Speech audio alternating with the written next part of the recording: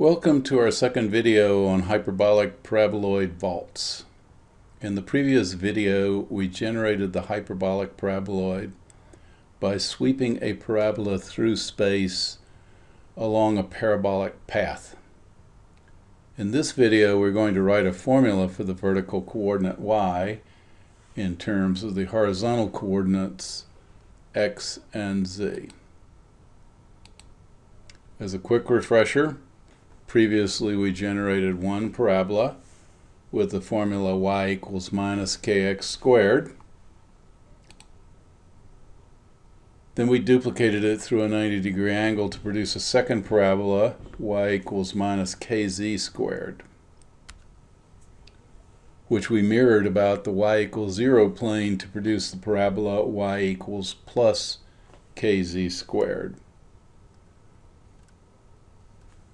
The y equals plus kz squared parabola was duplicated and displaced multiple times in the positive x direction and the negative y direction by appropriate distances to land the duplicated parabolas on control vertices on the original y equals minus kx squared parabola. In other words, we take this parabola and we replicate it once to take it to that point, again to that point, and again to that one, and so forth all the way down. We can then mirror those new parabolas to produce this shape. Then we can take the original, or we did take the original k equal y equals minus kx squared parabola and replicated it several times in the negative z and positive y direction. So in other words, we're going to take this parabola and replicate it up to here, then up to there, then again up to there, and up to there, and so forth. And we're going to snap it to these control points on this parabola, which is the y equals plus kz squared parabola. When we get done with that, we have these new parabolas which can then be replicated or, excuse me, mirrored about the z equals 0 plane to produce the hyperbolic paraboloid. Now that was a whole sequence of steps that took quite a while, 10 or 15 minutes.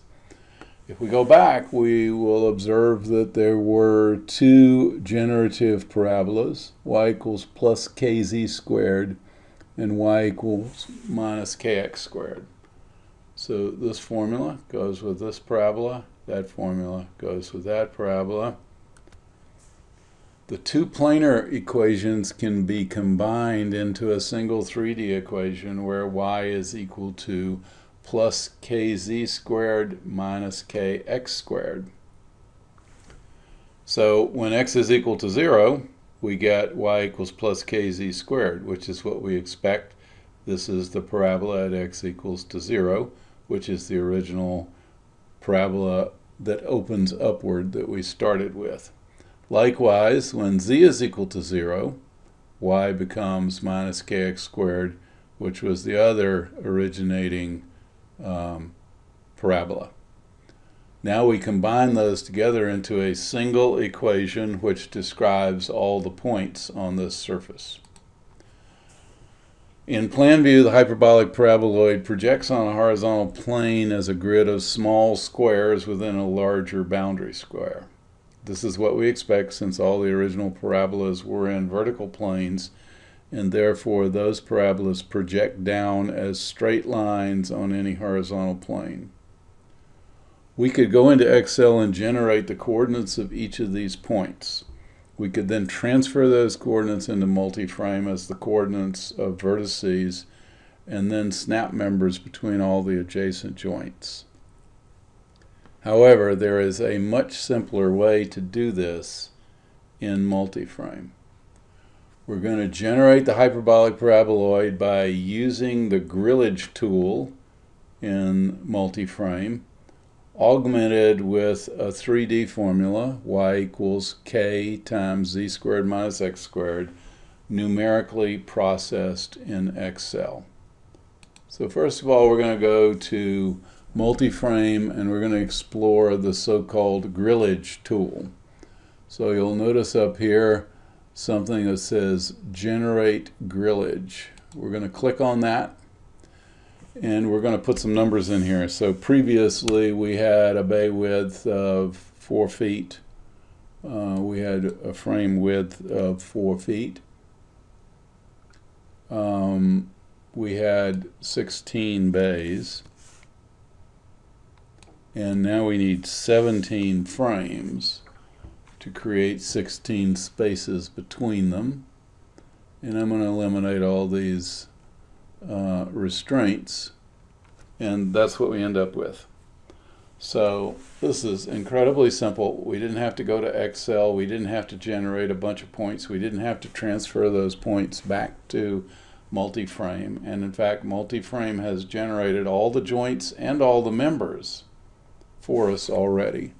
Uh, just to check, we're going to see this point right here is x equals 64. This one is z equals 64. So the one thing we'd like to do is we'd like to lasso all of this, or we could hit Control All, and we're going to move it so it's centered on our coordinate system. So we're going to say, we're going to move the selection uh, minus 32 feet minus 32 feet and the 16 was left over some from some previous exercise. So now when I hit control total or control T, I see that I have these coordinates as 32 and 32 for x and z, and these are minus 32 and minus 32. So I have the grillage I want. I can now go to my data window and you'll notice that it gives me the coordinates of all these joints. So what I'm going to do is I'm going to scroll down. I'm going to say copy. I'm then going to go to my Excel file and I'm going to paste all those in. And now I have all my x and y coordinates. I don't have, uh, excuse me, my x and z coordinates, but I don't have my y coordinates because the grillage was originally constructed in the y equals 0 plane. But what I can do is I can now construct this formula. I've written it up here, uh, where y is equal to k times z squared minus x squared, and k, you'll recall, is d o, divided by l over 2 squared. So that gives us a depth d when we're at the extreme ends of the hyperbolic paraboloid where one or both of the variables are L over 2.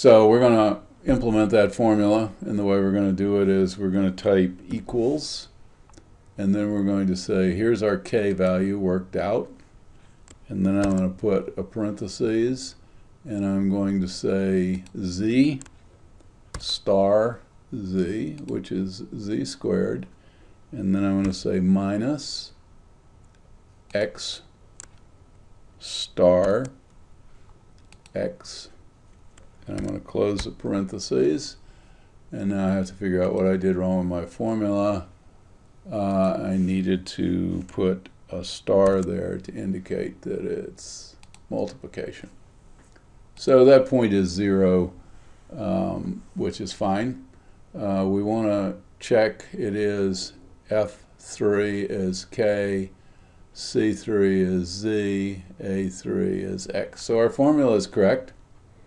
Uh, we have one thing though we want to do. We want when we fill this formula down, we want to update all the X's and update all the Z's, but we don't want to update this cell. So we're going to put our indicators of an absolute cell reference, which is a dollar sign in front of the F and a dollar sign in front of the 3 and now when we go fill down the formula, we'll always go back to the cell F3 to find this multiplier. So now I'm going to scroll down here. And I'm going to say control down or fill down. And so I have some issue here.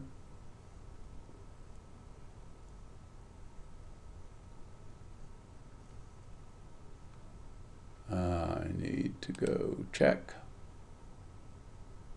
my formula.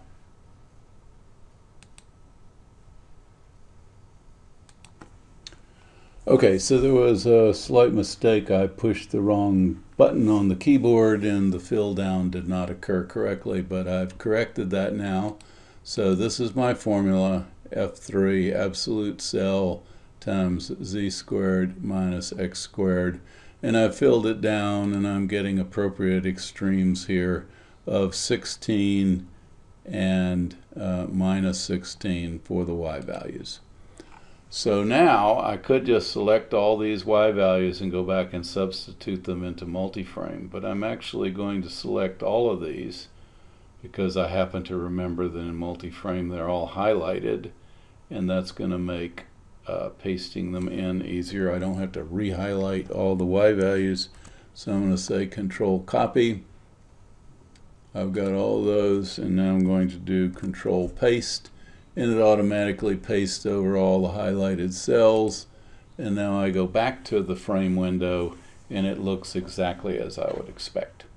So this is a much faster process because this grillage fe feature in multi-frame has allowed us to generate all the data points really quickly both in multi-frame and then to export them quickly to Excel. So everything was done with this grillage feature except that in Excel we had to update the Y values in order to give uh, the curvature that we're looking for. That ends our second video on hyperbolic paraboloid vaults.